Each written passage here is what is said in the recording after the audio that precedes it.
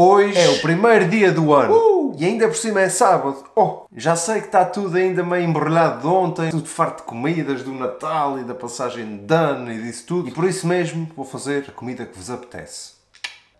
Um fio de azeite, uma pitada de sal, tortilhas, queijo ralado, umas fatias de lombo ibérico,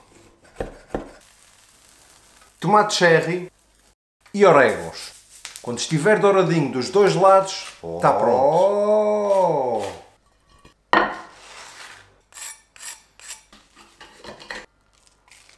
Sabe a pizza? Hum, é isto que vos apetece comer hoje. Tenho a certeza absoluta. E aproveitem bem este dia porque o ano é longo. Encontramos no próximo vídeo.